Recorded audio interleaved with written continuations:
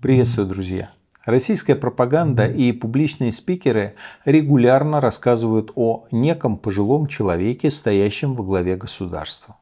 Этот дед, по их словам, утратил связь с реальностью и представляет опасность для окружающих. Вот так вот об этом во всяком случае пишет Дмитрий Медведев.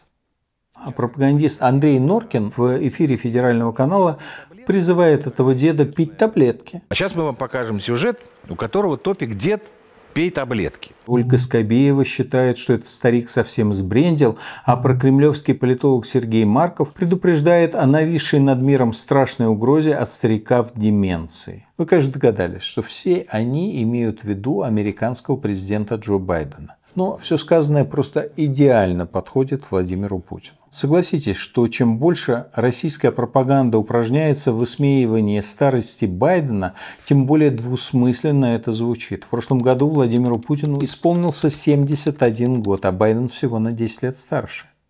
Сам Путин уже старше Бориса Ельцина, который передавал ему власть в конце 99 года и казался тогда уже совсем старым и уставшим от жизни человеком. Собственно, молодость и подтянутость Путина специально подчеркивались на фоне Ельцина и были важными аргументами в ходе операции «Преемник». Путин летал на истребителе, нырял за амфорами, рассекал местность с обнаженным торсом на лошади, играл в хоккей. Его публичный образ – это здоровый, подтянутый, энергичный человек. Но годы идут.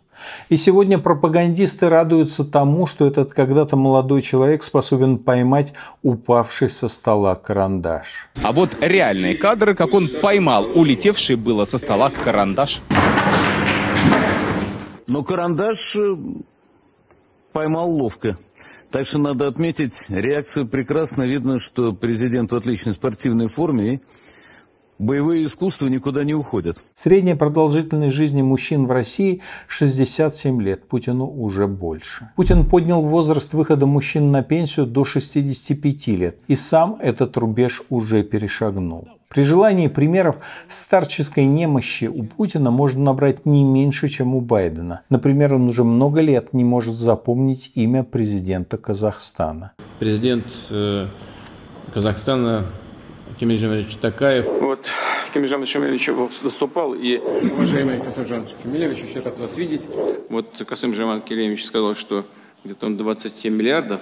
Уважаемый э, Кемель Жаманович Кем, э, Касым Жаман Кемелевич. Путает Узбекистан с Дагестаном. Хочу вас поблагодарить за личное участие в развитии российско-узбекистанских связей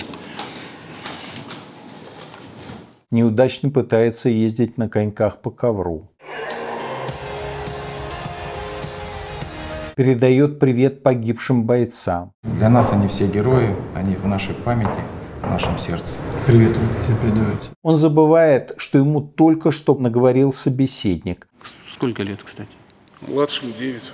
Понимаете, вот вы а, а старшим старший 23. Ну, знаете, вот вы с двумя детьми, а маленькому вообще три годика. А вот тут просто уже с трудом формулирует свои мысли, похоже, едва удерживаясь от того, чтобы прилюдно выругаться.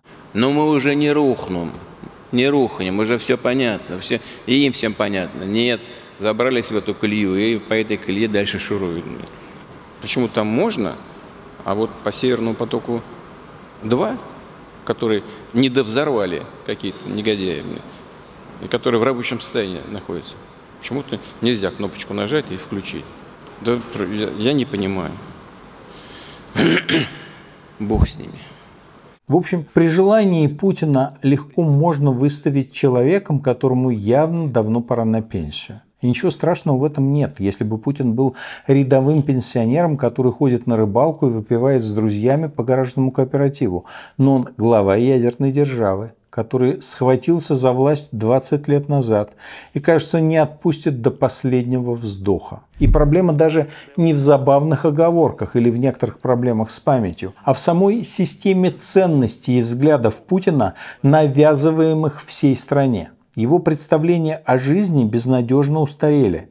Например, у Путина нет мобильного телефона, зато он много смотрит телевизор. Но обязательным требованием э, при подготовке резиденции к визиту Резиденция – это абстрактное понятие, то есть это может быть гостиничный номер или какой-нибудь гостевой комплекс. То есть при подготовке резиденции обязательное требование, если это какая-нибудь заграничная командировка, чтобы там вещали именно российские каналы, э, штуки четыре вот этих вот.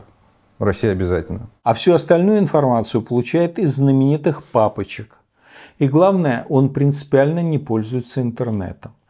Ну, то есть он реально не пользуется ни интернетом, ни телефоном. То есть вся информация, которую он получает, только от людей, которые ну, непосредственно а, близки.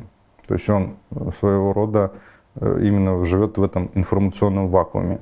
Принято считать, что президенту приносят папочки, секретные доклады спецслужб. Вот это его источник информации? Да, все верно. И это не просто безобидная причуда старика. Устройство современного мира нельзя понять без интернета. Вот сколько раз в день вы заходите в сеть? 20, 30, 100? А он никогда. Путин даже не может правдоподобно изобразить электронное голосование. Сразу видно, что постановка, и человек в сети никогда не был. Через интернет мы общаемся с друзьями и коллегами, смотрим фильмы, покупаем технику, одежду, еду, заказываем билеты, гостиницы, узнаем новости. Люди знакомятся в Тиндере, устраивают вечеринки в Зуме, проверяют информацию в Википедии, платят налоги через мобильный банк. Путин никогда ничего из этого не делал. Он не постил мемы, не скачивал фильмы на торрентах, не заказывал пиццу на дом, не ругался в Твиттере. Он просто не представляет, как работает современный мир, как вообще живут люди. Он даже не узнает, если ему на госуслуги придет сообщение, что нужно донести документы на оформление пенсии. Более того, как мы помним, Путин считает интернет проектом ЦРУ. Вы же знаете, все это возникло как э, когда-то, когда на первом этапе, на заре интернета, как э, спецпроект ЦРУ, э, США, и что ж там, то, так и развивается. В какое будущее может вести страну человек, вообще не пользующийся интернетом? Поэтому не стоит удивляться, что страна идет не в будущее, а в прошлое. Как многие пожилые люди, Путин хотел бы вернуться во времена своей молодости, хотя бы эстетически. И, к сожалению, у него есть для этого все возможности. Он создал свой аналог Политбюро в Совете Безопасности, аналог пионерии в виде юнармии движения первых подобий Верховного Совета в виде бессловесной послушной Госдумы, воссоздал КПСС в виде Единой России. Сам СССР ему, конечно, возродить пока не удалось, но это не потому, что он не пытался. Война против Украины как раз укладывается в эту логику.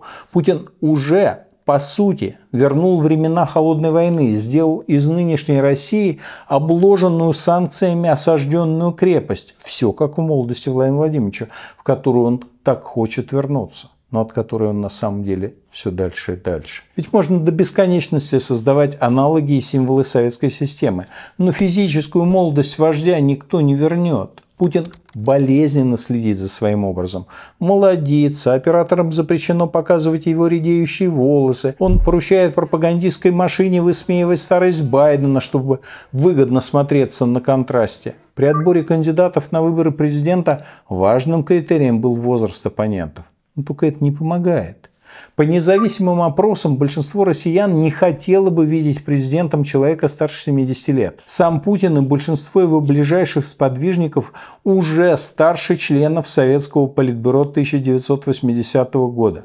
И сидят они на своих постах почти четверть века. К чему это приводит? Мы это уже видели. Советская партийная геронтократия не сумела справиться с задачами реформирования страны и потеряла ее. СССР развалили не американцы, а отставшие от прогресса престарелые вожди. Путин ведет Россию по тому же пути.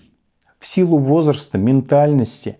Ему комфортнее в прошлом, а не в будущем. Он не сидит в социальных сетях, не тестирует новые технологии, не разговаривает с чатом GPT. Его страсть – печенеги, половцы, письма Богдана Хмельницкого и планы Далиса – этот дед потерял связь с реальным миром, причем в буквальном смысле. Интернетом не пользуется, прячется в бункере от эпидемии. Больше, чем современностью, интересуется глубокой историей, да и то в изложении жуликов типа Мединского. У Путина нет будущего. И дело не только в его личном физическом возрасте, дело во взглядах.